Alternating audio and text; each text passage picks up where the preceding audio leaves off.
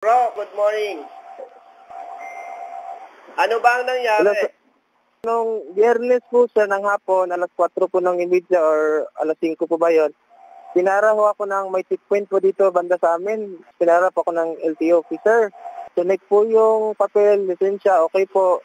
Yung light ko po, sinek niya po sir. Sabi niya, tama po daw ang ilaw ko, tapos pero mali daw ang pagkakabit.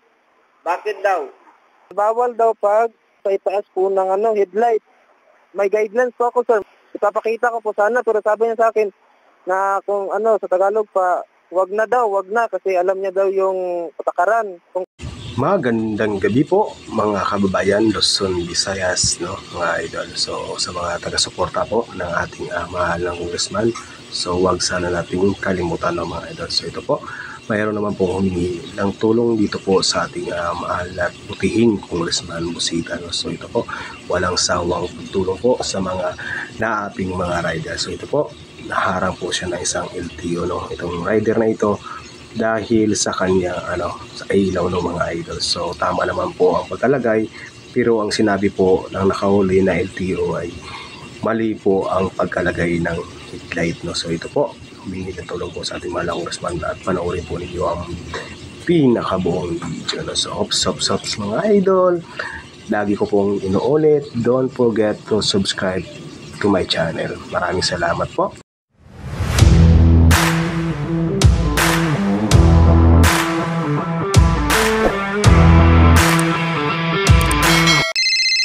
Hello, good morning. Sir, good morning. Yes po, sir. Magandang umaga po. A rider from Mindanao, Bukidnon po sir. May concern lang sana ako, sir, ba? Kasi, ano, pinuloy pa ako dahil sa auxiliary light ko po, sir, dito sa Mindanao. Anong nakalagay sorry, sa sorry ticket po, sir. mo? Ano daw, sir, ng illegal attachment po, sir. Hindi daw tama, pero sinunod po yung guidelines, sir, lalo na dun sa seminar ni Sir Colonel Busitas po, sir, is under the handlebar po, sir. Opo. Oh, yun pong sinunod, sir. Naka-crash guard, fix po ang mounting, ang paglagay. Ano ang yun- ah, au- auxiliary light? Yung for bulb po na auxiliary light po, sir, ang akin. Tinanggal na ba o hindi pa? Hindi ko pa po tinanggal, sir. Natikitan po ako, sir. Tapos, Ano, LTO? left side. Oh, LTO, sir. Okay, sige. ah ipapicturean Hmm. mo. Tingnan natin. Asan ko po i-send po, sir? I-send mo po sa Jerry Bigornia. Ah, sige, sir. J-E-R-R-Y. Double R-Y, tapos B, Bigornia. B-E. B-E, Gorn. Oh, G, good. Gio. G-O-R-N-I-A. Ah, okay, sir, okay, sir. Ang hanapin mo Ano doon, ang profile ko ay naka-big bike. Sige, sir. Tawag po ko ulit, sir. Oo, Ano, para sir? ma- para makita ko lang kung ano itsura ng Ah, sige, sir. auxiliary light mo. Ah, sige, sir, sir. Oo. Picturean ko po, sir. Sige, sir. Oo. Thank you po, sir. Naka-best ako ng ARSAP ha. Sige. sir, member din po din pala to, sir. ARSAP member ka Sige, na rin? Sige, sir. Yes, sir. Saang chapter ka ngayon? Bukidnon? Dito po sa Bukidnon po, sir. Sa Cagayan po kami nag-seminar yung si Colonel. Si Ay, Colonel yung sa Cagayan ka? Ah, Cagayan, sir. Ah, Doon sa- okay. Sige, ah, ah. sige. Ah, mag-chat sir. ka. Tapos, ah, pag-usapan sir. natin ulit para makita namin, ha? Ah, sige, sir. Sige. Bye-bye. Okay, sir. Thank, thank you po, sir. Hello, good morning. Hello, Sir Jerry.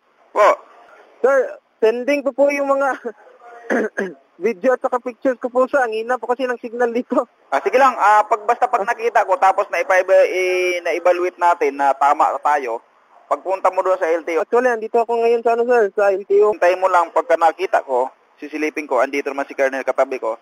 Yung sinunod ko lang po yung sinabi ni Colonel sa Oo. ano, seminar. Oo, kasi yun ang nasa guidelines eh, ng LTO eh.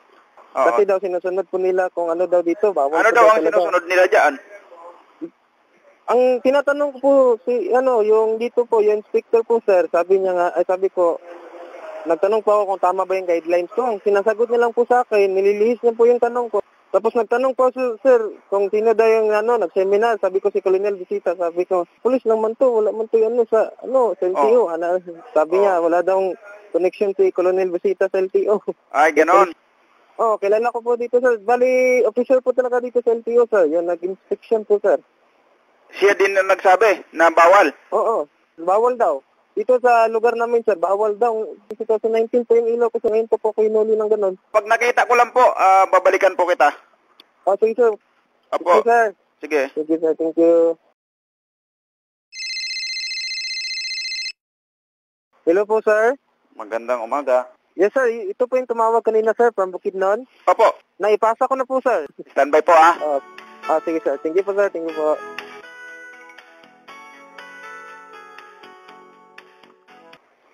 Hello, sir. Eh, ikaw yung naka-inmax? Yes po, sir. Oh, Ako imo yun, sir. eh. Kagwapo hang imo ang motor ah. Nakakaintindi ka po ng Bisaya, sir? Ah, gamay lang. Salamat po, sir. Oh. Pamilya ka po, sir. Nandun ka po sa seminar ng Cagayan po that time. Oo.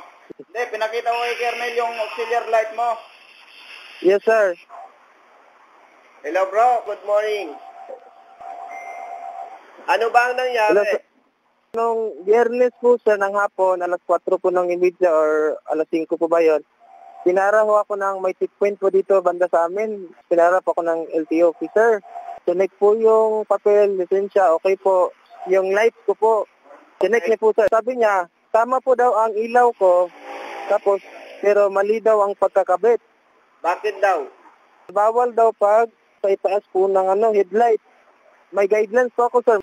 Ipapakita ko po sana, pero sabi niya sa akin na kung ano, sa Tagalog pa, wag na daw, wag na, kasi alam niya daw yung patakaran. Kung sasagot ko daw ako, da, dadagdagan niya po daw yung violation ko na basta mayroon daw ano yung sasagot ka pa sa ano, officer. Hindi na ako sumagot, sir. Sabi ko, tikitan mo na lang po ako, sir. Pero sana, makinig ka naman sa akin. Meron pa akong guidelines. Sana mabasa mo po.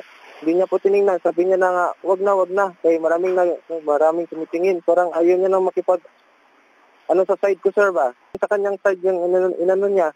Anong ginawa niya? Tinikitan ka o kinumpis ka ang iyong LED?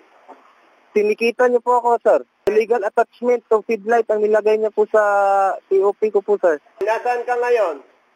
Nandito po ako sa may, ano sir, sa may, ang location po ngayon, nandito po po, naghahanap po kasi ako ng wifi para po may send ng video. Umalis pa po ako sa may opisina ng LTO, nandun pa ako kanina.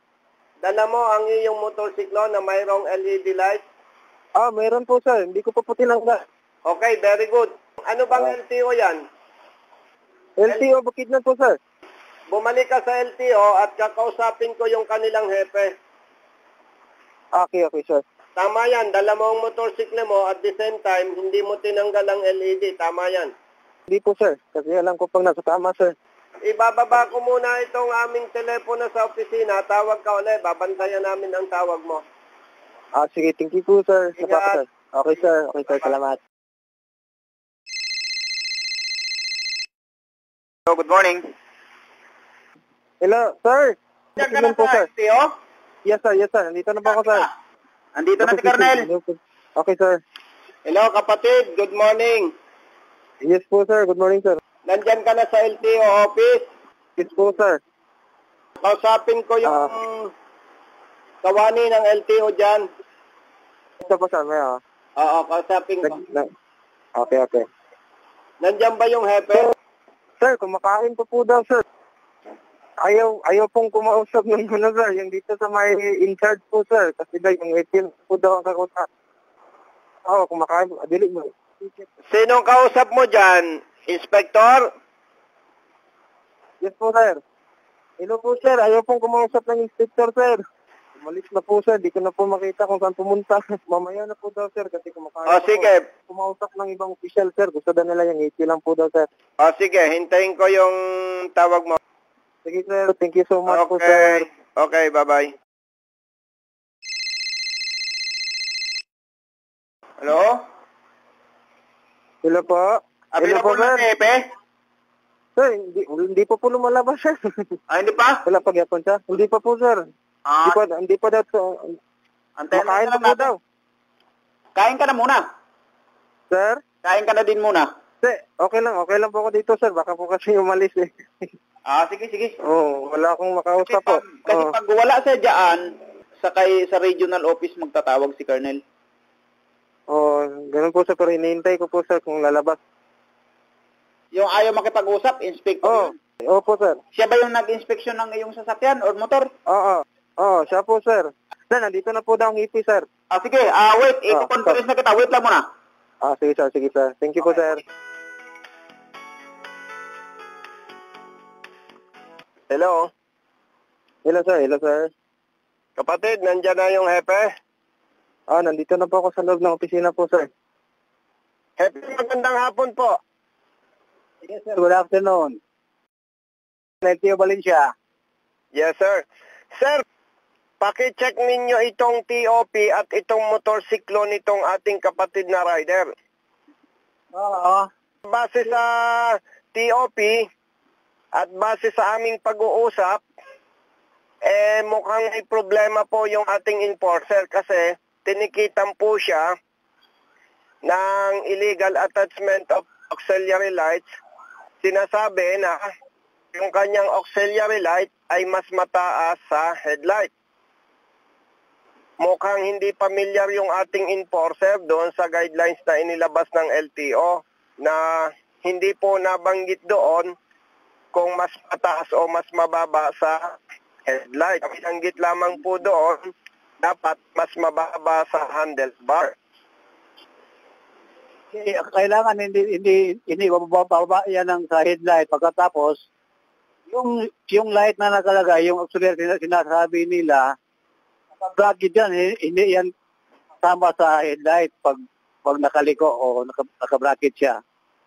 Sabi po nitong rider, ang sinasabi po ng enforcer, dapat mas mababa sa headlight. Ay samantalang, hindi naman po nabanggit sa guidelines ng LTO yon. Ang binabanggit lamang po doon ay mas mababa dapat sa handlebar.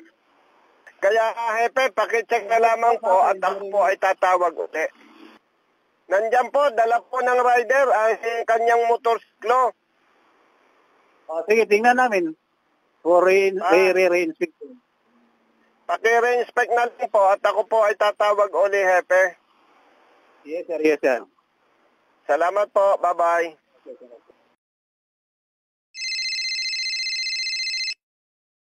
Hello, sir. Ano sabi Ito na, yung hippie na po mismo ang nag-inspect, sir. Bawal po daw talaga, sir. Nako, ito ka lang. Transfer dito, kita. sir. Sir. Sandali lang, sir. Sandali lang. Hello, sir. Hello, hepe. Magandang tanghali po uli. Nakita ko na yung, Ano ano, po? sir, yung motorcycle. Video naka-above sa headlight, sir, eh. Hepe, ibig sabihin po, sa pagkaalam ninyo, bawal po yan. Yes, sir. Yes, sir. Bawal. Pakibasa po ninyo yung guidelines. Hindi po yan bawal. Mali po ang pagkaintindi ninyo, kaya pala mali ang panguhuli ng inyong enforcer. By the way, Hepe, for your information, recorded po yung ating usapan for public interest. Pakibasa, Hepe, yung guidelines. Sige, tatawa ako sa regional officer. Pakibasa po at babalikan ko po kayo uli. Yes, sir. Yes, sir. Tawag lang, sir. Sige po, babalikan ko po Yes, sir. kayo. Okay, Salamat sir. po. Okay, okay, sir. Opo. Yes, sir. Rider, Oh, yes, sir. Yes, sir. Yes, sir. sinabihan natin yung hepe na basahin ang guidelines dahil hindi rin pa niya alam, kaya hindi alam ng kanyang enforcer. Tatawagan niya po daw, sir. Ang regional daw po, sir. Tatawagan niya daw po. Siya pa nga mismo yung tumingin sa ilaw, sir. Sabi niya, bawal talaga yan kasi above the headlight. Tawag po ako ulit, sir. Salamat po, sir. Sir, thank you.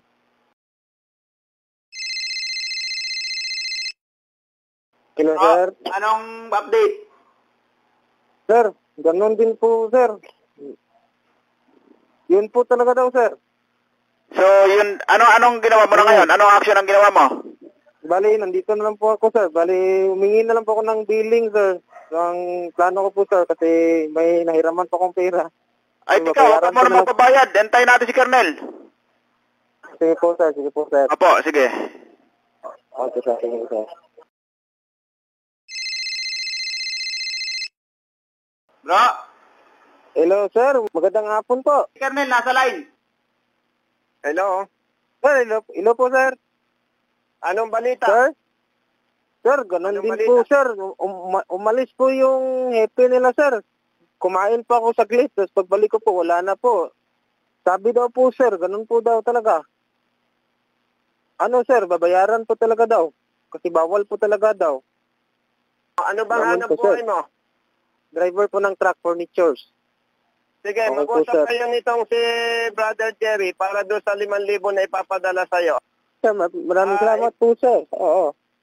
Hindi ibig sabihin na magpapadala ako ng 5,000 sa'yo, eh tinatanggap natin yung huli sa'yo. Tulong namin sa iyo yan. Alam ko na maliit kang manggagawa, kaya tutulungan ka namin. Okay po, sir. Ma- ma- malaking tulong po yan, sir. Salamat. Huwag mong babaguhin yung iyong LED, okay? Ok, hindi po, sir. Hindi- Salamat po, sir. Oo, sige, sige. Okay, bye-bye. Paano ang GCash number mo? Ito po, sir. Ah, ito mismo. Ah, itong TM po. Itong TM po, Oh, sir. Oo. ako, mag, magsisit ako 099. sa'yo ngayon ng ah, 5,000. Sir, maraming salamat po talaga, sir. O ulitin ko, hindi ibig sabihin na tayo ay pumapayag sa kanilang ginagawa, kaya tayo'y nagbayad. Opo, to, opo Oo, sir. ibig sabihin hindi pa tapos ang laban. Okay, sir. Ayaw Salamat lang po, sir. natin na naaabala tayo. Sabi nga po ni Colonel, hindi ko na ayaw, hindi ko na po tatanggalin. Huwag mong tatanggalin, huwag mo hindi kailangan tanggalin kasi nasa tama tayo. Hmm, sabi kasi dito, tanggalin ko na daw po. Baka Ah. ba daw magka-second offense. Ay hindi. Okay po, sir. Salamat po, sir. Sige po. Sir, maraming salamat po pati kay Colonel, sir. Maraming salamat. Basta tama bro, kampi-kampi tayo. Thank you po, sir. Oo, bye-bye.